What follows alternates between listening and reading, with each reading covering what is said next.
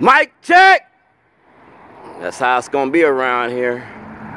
Like I say, whatever I do, I'm gonna do in the light of day. I ain't gonna do nothing in the in the nighttime like a thief in the night.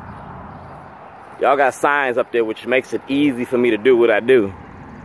Potty training politicians and people gonna pay attention to this. Alright? Shorty's Bootleg Barbecue. Y'all got the county executive's spot that's open, right? So whoever wins the county executive office got to deal with my shit. They got to deal with me. Because I had papers in office to be addressed. And they had to deal with my store, the money, the, and everything else.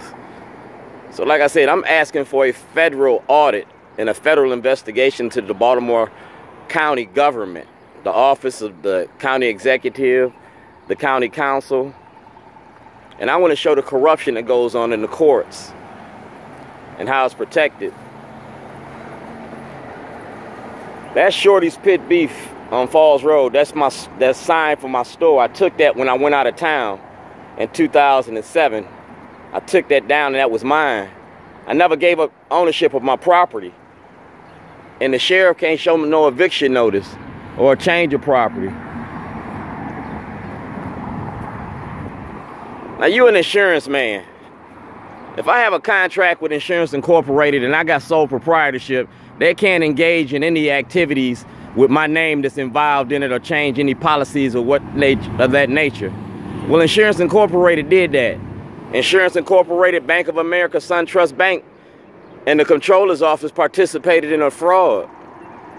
They stole my business.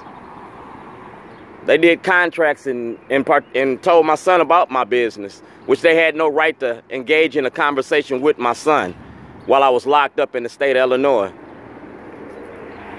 Court papers show I was locked up in another state. I was locked up for 186 days from December, from Christmas Eve till June 3rd, 2008. And Insurance Incorporated shouldn't have spoke to my son. Bank of America shouldn't have spoke to my son. Paul Weinblatt shouldn't have spoke to my son. And I never signed nothing to turn my, I was selling my store. My store was for sale. And Zirkin know about it. Because I was making a movie about Zirkin and the Democratic Party in Maryland out my store. My store was a store and it was also a film studio about race and racism and Jim Crow. It was about insurance. It was about health care. It was about gay marriage. It was about a lot of things and I was doing it in my store. Sheriff Fisher came to my store. He had a sign at my store during the 2002 elections, 2004. Shorty's Bootleg Barbecue. So the county executive got legal papers about my position. The state's stealing money. Y'all got to compensate me for my losses. Unless and until I'm compensated, I'm going to keep telling about your corruption in your courts. Judge Janae fixed the case for me. I didn't ask her to do it. She did it on her own. Judge Janae lived right across the street from my store. David Irwin lives right up the street from my store.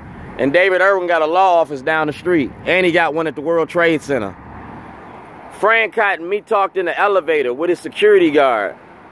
And y'all been letting this linger for last eight, ten years. All right? You got taxes that wasn't paid on that store while I was locked up, and you got checks that was cashed and parties that was made while I was locked up.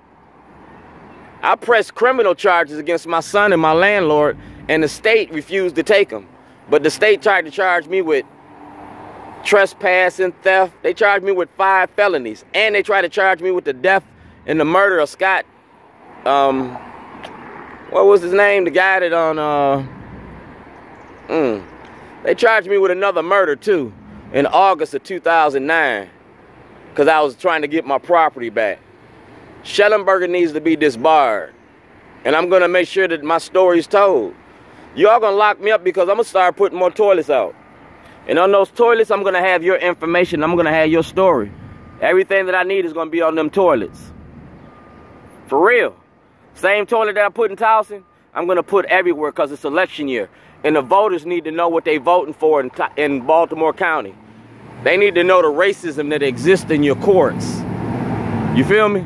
And your police department. Y'all got a problem with me? Dog. Lock me up. charge me with something. Because when you lock me up, I get a jury trial. I get a jury trial because I'm not going to take a trial by judge. I'm going to take a trial by jury. And everything that I gave Bobby Zirkin is going to be on the bench. You feel me? Everything that Bobby Zirkin got, everything that Kathleen Pugh got, everything that Governor Hogan got, everything Judge Souter got, everything Judge Pearson got, everything Judge Holland got. Y'all gonna have to put it in front of the court because I ain't scared of jail. If I can go to jail for toilets, y'all can go to jail for corruption. Man wasn't built for jail. Jail was built for man, and you can go to jail too. And that's not impossible. Because like I said, if I did something wrong, lock me up. But unless I get my $2.6 million and my standing in the community and you rectify that lie, I'm going to keep shitting on you. Potty training politicians. The world paying attention.